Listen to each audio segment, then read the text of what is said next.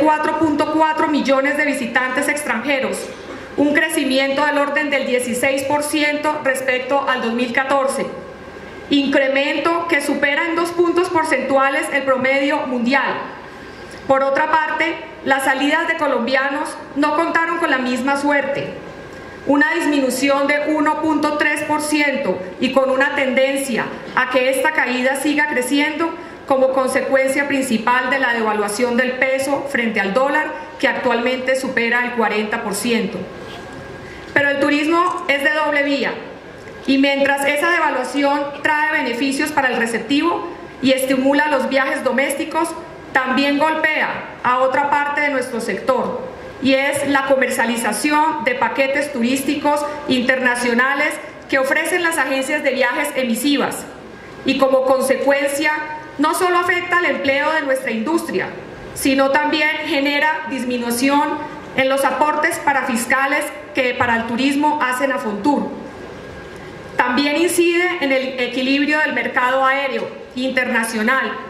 ya que son tan importantes las sillas ocupadas de los pasajeros que salen como la de los pasajeros que entran,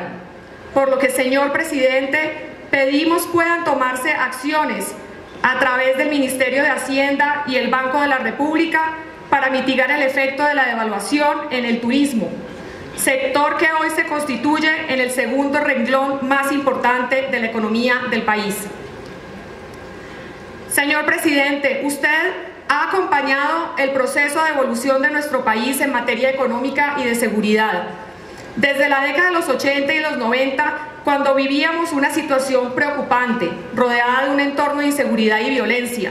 un cambio espinoso que dificultó el trabajo de muchos de este sector del turismo. ¿Quién recomendaba a Colombia para viajar? ¿Quién creería que este país tendría un potencial para recibir extranjeros? A pesar de eso, se afrontó el reto identificando los principales obstáculos que permitieran crear estrategias o incentivos, como los establecidos para la inversión hotelera, la exención de IVA para extranjeros o residentes en el exterior, la construcción de muelles, malecones, centros de convenciones, carreteras y en general todo lo referente a infraestructura y sobre todo la labor de los empresarios, dentro de ellos las agencias de viajes, quienes comercializan los servicios turísticos para promocionar y vender a Colombia en las ferias internacionales del mundo. Por eso necesitamos de su apoyo, presidente, para que entidades como el FONTUR y ProColombia